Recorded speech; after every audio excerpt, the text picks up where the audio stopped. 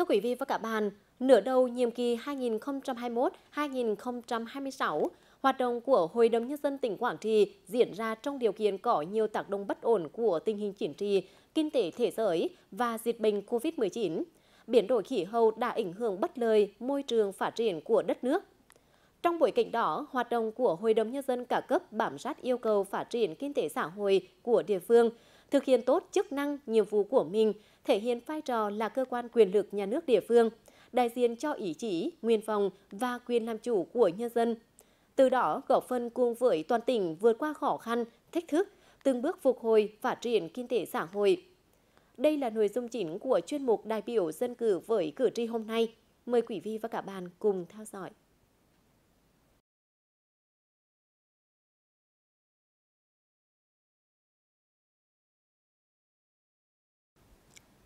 Thời gian qua, hoạt động Hội đồng Nhân dân tỉnh ngày càng dân chủ, thực chất, chất lượng và hiệu quả với nhiều đổi mới.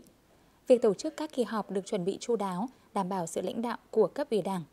Hoạt động thẩm tra của các ban Hội đồng Nhân dân tỉnh được thực hiện kỹ lưỡng, có chính kiến rõ ràng, tính phản biện cao, làm cơ sở để đại biểu phát huy dân chủ, trí tuệ, quyết định những vấn đề quan trọng về kinh tế xã hội, phân bổ nguồn lực đất đai, tài nguyên, khoáng sản, ngân sách, chương trình, dự án cho đầu tư phát triển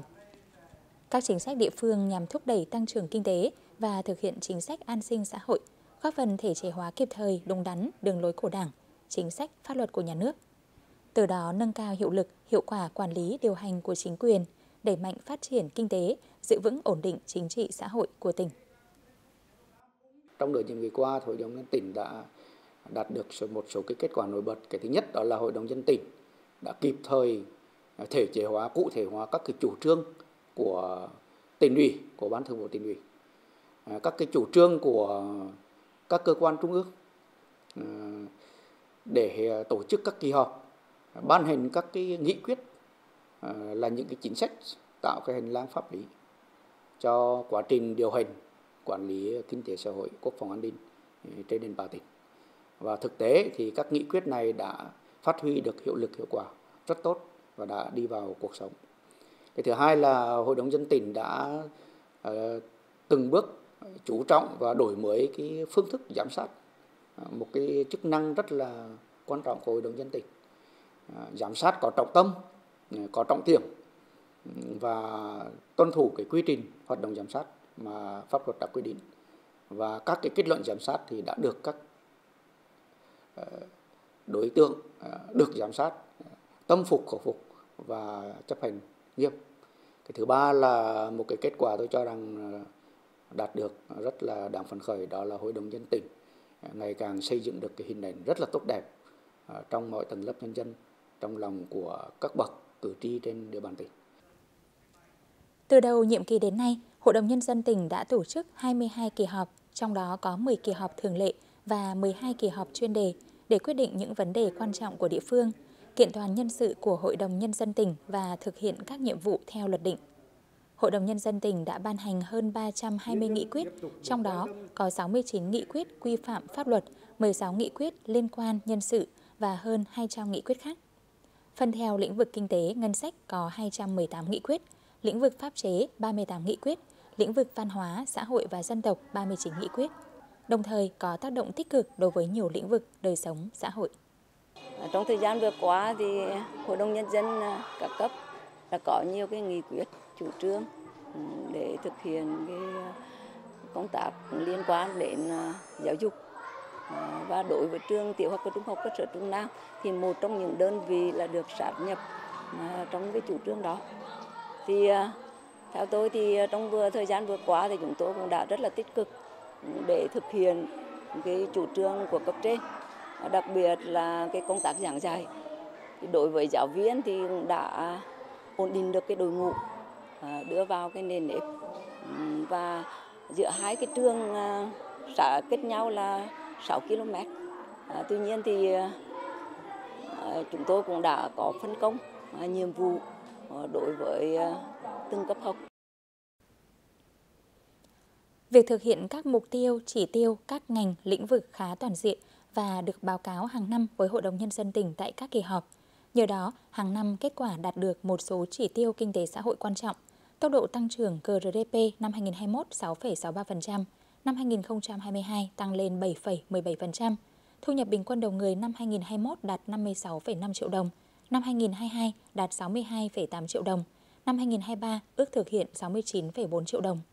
Mức giảm tỷ lệ hộ nghèo bình quân năm 2021-2022 là 1,14 số liệu.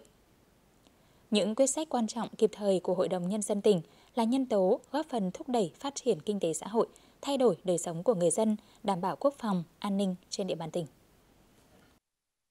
Về ờ, cái hiệu quả của các nghị quyết thì mang lại à, rất nhiều cái hiệu quả là rất là tốt, rất là trong ờ, nhất là đối vùng ờ, đồng bào dân tộc thiểu số và miền núi. Thì ờ, về ờ, dân dân là đáp ứng được cái cái cái cái cái, ờ, cái, cái, cái đời sống của nhân dân đi vào thực chất. Hiện nay các cái nghị quyết hoặc các cái chủ trương thì đưa lại là theo hướng là giảm nghèo giảm nghèo bền vững. Thì ờ, ở xã thì cũng đang triển khai các cái mô hình nhóm hồ hoặc là tổ nhóm. Tổ nhóm thì sản xuất theo chuỗi giá trị. Thì đấy là cũng đưa vào thực chất và để ờ, qua quá trình mà, mà triển khai thì ở địa phương cũng ờ, rất thuận lợi và về thôn cũng rất thuận lợi. Tại 22 kỳ họp trong nhiệm kỳ, đã có hơn 190 lượt chất vấn, giải trình trực tiếp đề cập đến nhiều vấn đề bức xúc có tính thời sự, thể hiện trách nhiệm của đại biểu Hội đồng Nhân dân trước cử tri. Nội dung chất vấn đa dạng, phong phú, bao quát tất cả các lĩnh vực kinh tế xã hội, về quản lý đất đai, cải cách thủ tục hành chính, bảo vệ môi trường, chủ trương đầu tư dự án, thu hồi đất, giải quyết khiếu nại tố cáo, đấu tranh chống tham nhũng, lãng phí, hoạt động của các cơ quan nhà nước. Người trả lời chất vấn đi thẳng vào vấn đề, rõ ràng từng nội dung yêu cầu của chất vấn, Việc tiếp xúc cử tri của đại biểu Hội đồng Nhân dân tỉnh trong những năm vừa qua từng bước được đổi mới, cải tiến về nội dung và hình thức, đảm bảo đúng quy định của pháp luật và đáp ứng nguyện vọng của nhân dân. Đại biểu Hội đồng Nhân dân tỉnh luôn giữ mối liên hệ mật thiết và thường xuyên báo cáo với cử tri nơi ứng cử. Từ đầu nhiệm kỳ đến nay, Thường trực Hội đồng Nhân dân tỉnh đã tiếp nhận và tổng hợp 419 kiến nghị của các cử tri. Qua giám sát, kết quả giải quyết kiến nghị của cử tri cho thấy đã có gần 400 kiến nghị được Ủy ban nhân dân tỉnh, các sở, ban ngành địa phương liên quan nghiên cứu, tiếp thu, trả lời, giải quyết. Hoạt động tiếp xúc cử tri của đại biểu Hội đồng nhân dân tỉnh đã góp phần quan trọng trong việc thắt chặt mối quan hệ giữa nhân dân với các cơ quan nhà nước nói chung và với Hội đồng nhân dân, đại biểu Hội đồng nhân dân nói riêng. Thể hiện rõ vai trò của Hội đồng nhân dân là cơ quan đại diện cho ý chí, cho nguyện vọng của nhân dân địa phương. Để à, làm tốt hơn và gần gũi hơn đối với à, à, bà con nhân dân thì chúng tôi cũng có ý kiến nghĩ là về phía các đại biểu hội đồng thì cũng nên là sâu sát hơn tìm hiểu hơn về cái tâm tư nguyện vọng của người dân để trên cơ sở đó có những cái đề xuất với lại các cấp trên để xử lý và à, đáp ứng được cái nguyện vọng của bà con à, nhân dân hiện nay. Từ đầu nhiệm kỳ đến nay, Thường trực Hội đồng Nhân dân, các ban của Hội đồng Nhân dân tỉnh đã tổ chức 26 đoàn giám sát và đề xuất kiến nghị 220 vấn đề. Trong đó, Thường trực Hội đồng Nhân dân tỉnh chủ trì 8 đoàn giám sát và đề xuất kiến nghị 106 vấn đề. Nội dung giám sát được lựa chọn có trọng tâm, trọng điểm, nhất là các vấn đề nổi cộm được các cử tri quan tâm. Trong nửa nhiệm kỳ còn lại, Hội đồng Nhân dân các cấp tiếp tục đổi mới, nâng cao chất lượng và hiệu quả trong thực hiện chức năng quyết định giám sát của Hội đồng Nhân dân,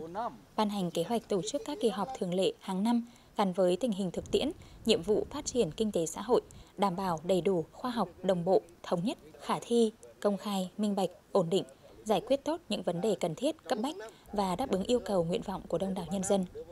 Tổng hợp và đánh giá kết quả thực hiện các nghị quyết về cơ chế, chính sách địa phương do Hội đồng Nhân dân tỉnh ban hành trong nhiệm kỳ làm cơ sở cho việc đề xuất chính sách trong giai đoạn mới. Xác định những cái khó khăn tồn tại ừ, trong nửa nhiệm kỳ vừa qua để chúng ta có những giải pháp khắc phục. Ví dụ như là à, vấn đề à, chất vấn của các đại biểu, à, vấn đề thực hiện các cái kết luận giám sát, tức là hậu giám sát đó. rồi thì vấn đề tiếp xúc cử tri. Thì đó là những cái vấn đề mà chúng ta đang còn những cái khó khăn, những cái hạn chế thì chúng ta phải khắc phục được. Phải xác định những cái nhiệm vụ nó cụ thể để ờ, tham mưu cho tỉnh ủy ờ, cũng như là bản thân cơ quan hội đồng phải xây dựng các cái chiến lược những cái biện pháp thật căn cơ thật cụ thể để cùng với toàn hệ thống chính trị ờ, trên địa bàn tỉnh Quảng Trị hoàn thành các cái chỉ tiêu, các nhiệm vụ mà Đại hội tỉnh Đảng bộ lần thứ 17 ừ, đã đề ra. Thường trực Hội đồng Nhân dân, các ban, Hội đồng Nhân dân, Văn phòng đoàn đại biểu Quốc hội và Hội đồng Nhân dân tỉnh và cá nhân mỗi đại biểu Hội đồng Nhân dân tỉnh không ngừng phấn đấu để thực hiện tốt chức năng, nhiệm vụ được giao. Hoạt động của mỗi đại biểu hội đồng đã và đang ngày càng khẳng định được vai trò của người đại biểu dân cử. Nhiều quyết sách quan trọng đã được triển khai thực hiện phù hợp với thực tiễn từng giai đoạn phát triển của địa phương. Từ đó là tiền đề góp phần thực hiện có hiệu quả nửa nhiệm kỳ còn lại, cùng ổn định chính trị, thúc đẩy sự phát triển kinh tế xã hội, giữ vững quốc phòng, an ninh trên địa bàn tỉnh trong tình hình mới.